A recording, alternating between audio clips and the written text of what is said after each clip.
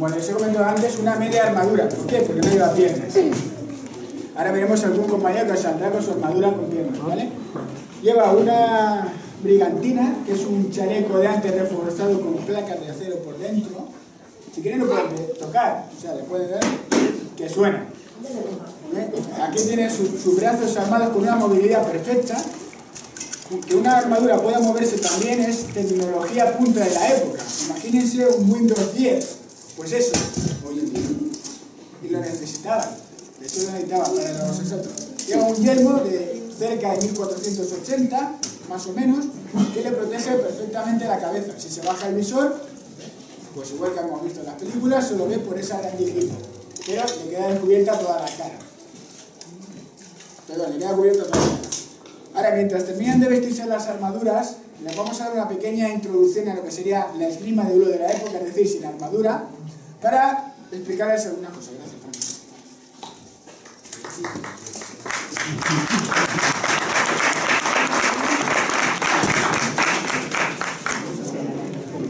Bueno, esta espada que ven es la típica espada del caballero que hemos relacionado durante toda, nuestra vida, la espada larga medieval.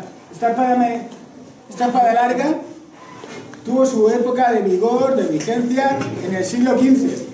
Precisamente fue donde llegó su máximo esplendor. Bueno, están saliendo las armaduras, así que por favor hagan un poco de sitio, porque no ven.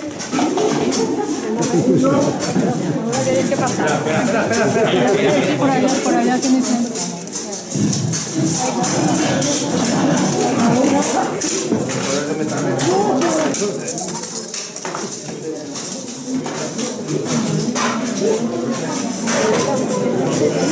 Para llevar eso, no tiene que poner un pintar,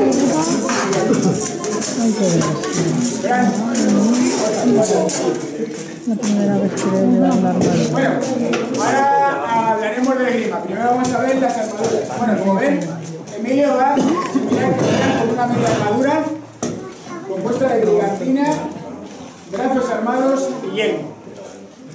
Añade algo que Fran llevaba, que es una cota de malla para proteger los huecos que quedan libres de la armadura. Si se dan cuenta, aquí Fran no tiene protección, y aquí sí. Y Eduardo lleva una armadura completa, si lo pueden ver, hasta los pies están articulados para, que se pueda mover con comodidad. Total comodidad. Armadura de torneo ahora mismo. Mientras que ellos serían soldados, ¿vale? Él sería, él llevaría una armadura de torneo. Con esto se iba a la guerra, sí, pero rara vez entraba en combate, porque para eso están los peones. ¡Que vaya la infantería! ¡Arqueros! ¡Vamos! ¡Mira! ¡Vamos! ¡Arqueros! ¡Miren eso! ¡Venga, vamos! ¿Para qué pago? El arma de estos caballeros por excelencia es la espada larga, también conocida como espada de mano y media. ¡Qué mola! Espada de mano y media, que ahora veremos cómo se usa. Bueno, de momento. Luego, si quieren, cuando, cuando terminemos, eh, se pueden hacer alguna foto con ellos abajo todas las veces que quieran, hasta que aguanten. Ahora veremos abajo algunos ejemplos de cómo se maneja con esta armadura que ya le digo que una armadura bien ajustada, es decir, hecha a medida, pasta. Bien ajustada, pasta. Por, bueno, por un buen armero, pasta, pasta, pasta. Permite cosas que serían impensables, como dar volteretas. Eso que hemos visto en las películas, que ah, le ha dado el de la armadura, se ha caído y no se puede levantar. Mentira, se levanta. Se levanta. Que se cae el caballo, no pasa nada, va muy bien protegido, se levantará. Levanta. Por supuesto, hemos de una armadura.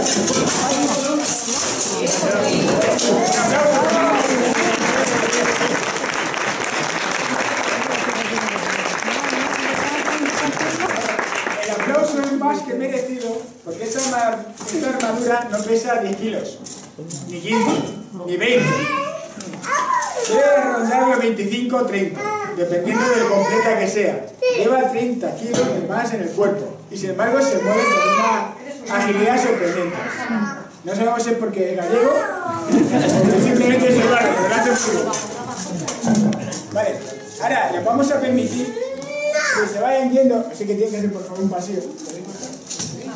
Van a ir bajando abajo. y Vamos a hacer la demostración. Por favor, dejen pasar. Prioridad a la armadura.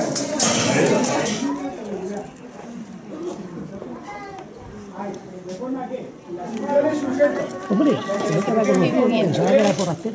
Yo puedo llegar a oponerme aquí. Es más, puedo llegar a cogerle su espada, a quitársela mientras la amenazo.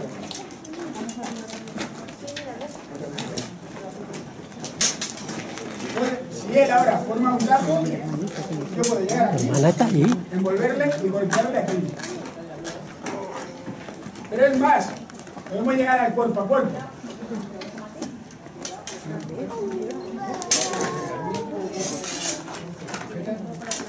Yo puedo llegar a golpearle hasta llegar a él. Y conseguir la acción definitiva que siempre será desarmarle. Si yo le quito la espada, con cualquiera de los medios que conozco, el de la guía, o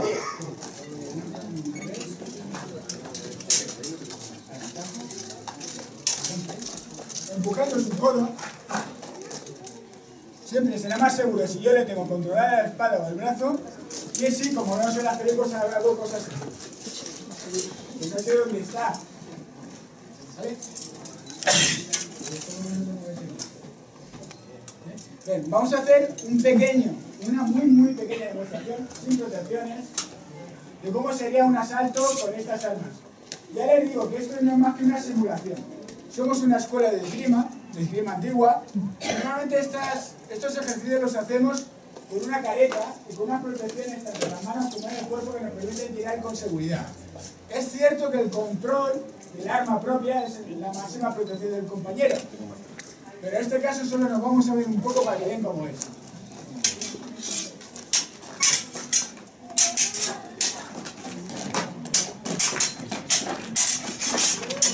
Como ven, no me tiro inmediatamente a por él, sino que le estudio, le sujeto, me voy cubriendo, a- no sea que, por muy inexperto que sea, que no es el caso de Luis, un inexperto suele hacer cosas precipitadas, que no te esperas. Si te confías, eso te puede llegar a resultar muy perjudicial. Así que no nos confiamos y nos movemos con cuidado, con, intentando conocernos antes de entrar en, en la línea.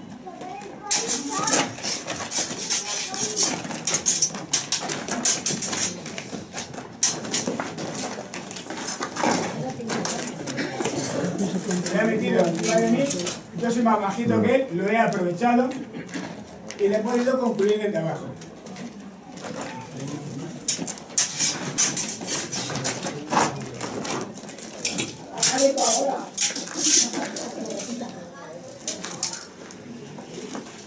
Muy bien, un aplauso a Luis, por favor.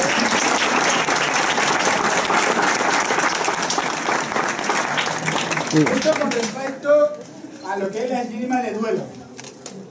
Con respecto a la esgrima de armadura, vamos a ver algunas cosas más, tanto con la espada de media como con, pueden verlo allí, de lo que serían armas enlastadas más largas.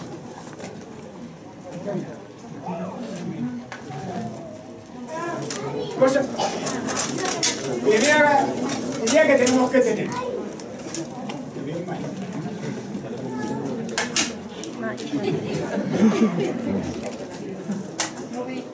Efectivamente, es difícil, ¿eh? La primera idea que tenemos que tener es que esto ya no vale.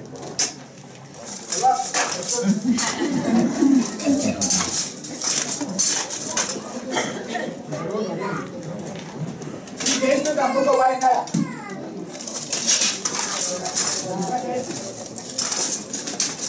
Así que lo que hay que tener en cuenta es que con el combate con armadura llega a ser una aproximación hasta los blancos del enemigo. Es decir, yo, en todo caso, puedo ir acercándome así. Y ahora, desde aquí buscar, mira, el primer hueco, ya lo tengo claro. La mano. Ahí no hay protección. Eh, Fran, levanta una mano. Como pueden ver, en la palma de la mano no hay armadura. Primer hueco, el que llegar allí. Vale. Segundo hueco. Aquí abajo. Las piernas siguen protegidas. Tiene que darse la vuelta para que yo pueda llegar a irle. Es muy difícil el combate con armadura. Tanto que no es lo que han visto que hemos hecho un yo, sino que llegamos a estas posiciones. A esta mesa espada, esa espada porque la cojo por el medio, y aquí empezaríamos un juego de palanca, a ver quién es capaz de crear una palanca suficiente para desarmar al contrario o abrirse un poco para aquí.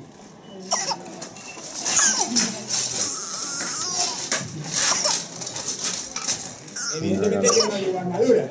A qué va a pasar.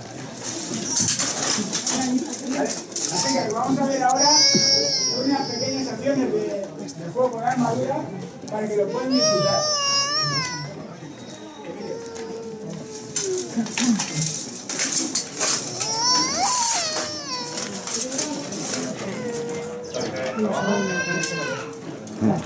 Tiene que pegar. Tiene que estudiar la armadura, puede coger la espada del contrario sin que se corte.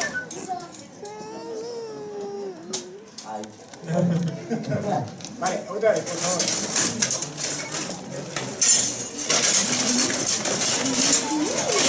Ya, ya, ya, ya, ya. Alto, ha llegado. Edu ha venido la punta de la espada en esta espada aquí, con lo cual ha llegado un blanco válido que incapacitaría o llegaría a a herir brutalmente al compañero.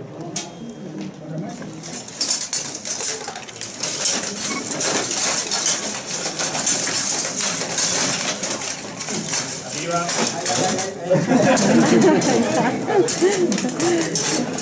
Claro, un golpe con ese guantelito, imagínense el daño que puede hacer. Bueno, verán que Edu lleva una daga colgada del cinto para el momento en que pierden la espada, se abrazan al contrario con la daga. Se utilizaban dagas de este tipo, de dagas de novela. Llaman así, Eh, de- normalmente eran muy rígidas, podían llegar a ser incluso eh, un, rombo o un cuadrado un triángulo. Ah, principalmente para intentar perdurar o buscar las líneas. Y, los discos estos eran para, una vez que buscabas y encontrabas un ángulo donde no te resbalaba, poder en- entrar la, puñetazo limpio. O en algunos manuales te dice que saltando encima pecho contra pecho.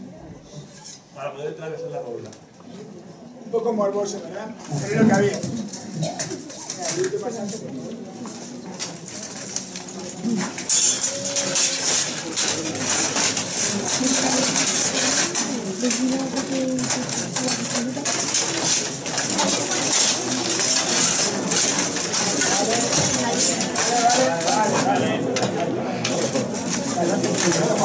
Por favor. Un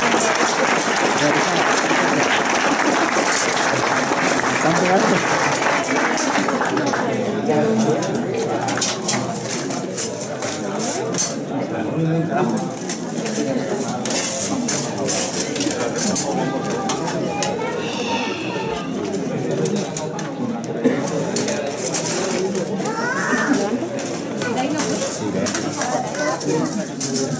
Esto, esto es una simulación, esto es una simulación de un arma en la escala. Un arma en la escala, con pico, con martillo, con punta, de forma que,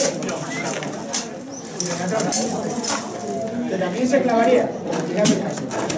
Podríamos clavarlo así, esto no le aguantaría la armadura, podemos golpear, pinchar, pinchar de nuevo, lo de las curvas. Es un arma para el que necesita ya una cierta instrucción moderna. Claro, yendo con la armadura es muy sencillo. ¿Por qué? La armadura, aunque permite mucho movimiento, limita a otros y esto lo favorece. Vamos a ver ahora un pequeño asalto con esto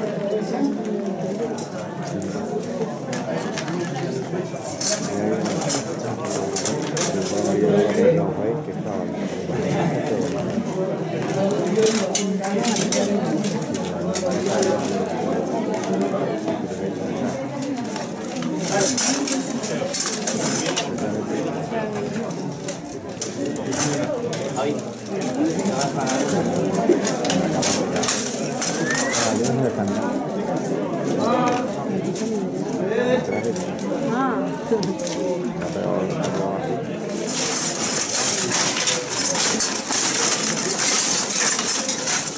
좋아 좋아 좋아.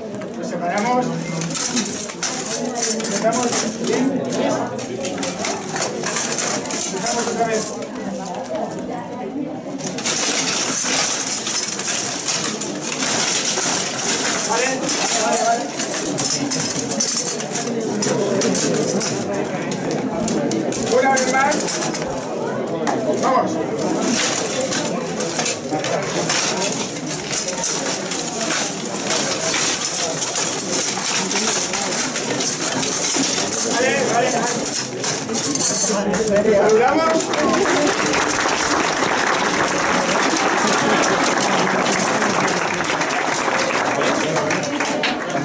Sí, del- Bueno, para terminar, vamos a ver una tal a mano y media entre Emilio y Grande para completar el último, ¿vale?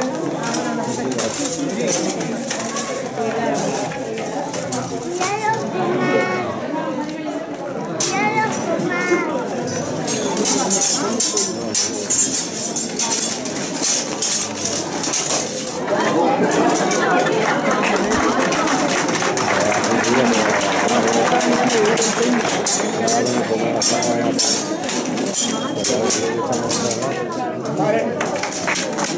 Vale. Bueno, vamos a recordarlo. que Son dos tiradores, ya veteranos, son diestros veteranos de la sala de Albacete, que llevan una espada, pero que también llevan armadura. No están acostumbrados a tener armadura, están haciendo técnicas de espada libre. Es decir, ni el pomo ni el filo que acabamos de ver hubiera servido para nada, porque andan en blanco rígido. ¿Vale? Vamos, ¿preparados? Adelante.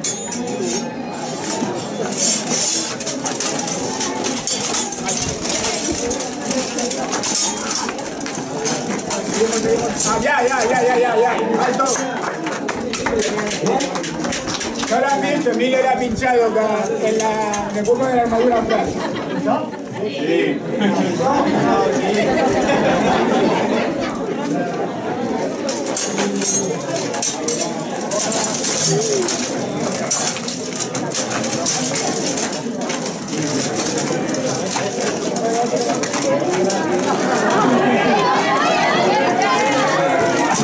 ¿Vale?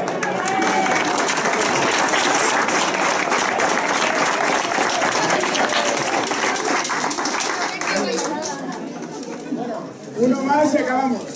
Sobre todo porque están ya un poco... No se van a dar cuenta ahora, la- porque la testosterona, la adrenalina están poniendo a tope.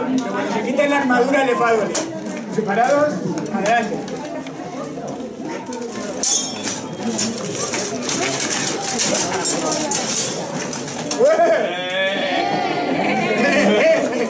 Bueno, lo dejamos en empate.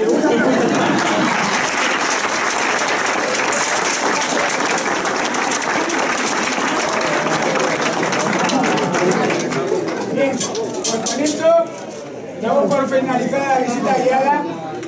Vamos a saludar a estos valientes caballeros, por favor.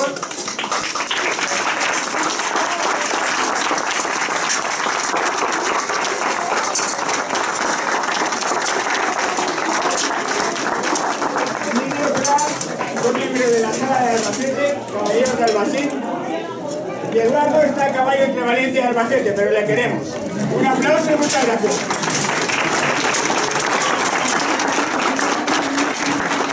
Agradecemos también a Luis por la colaboración.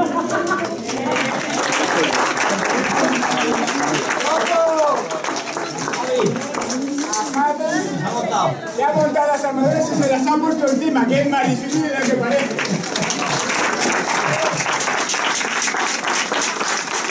con esto les agradecemos muchísimo su atención y cualquier duda que tengan, todas las fotos que se quieren hacer con ellos están a su disposición. Muchas gracias.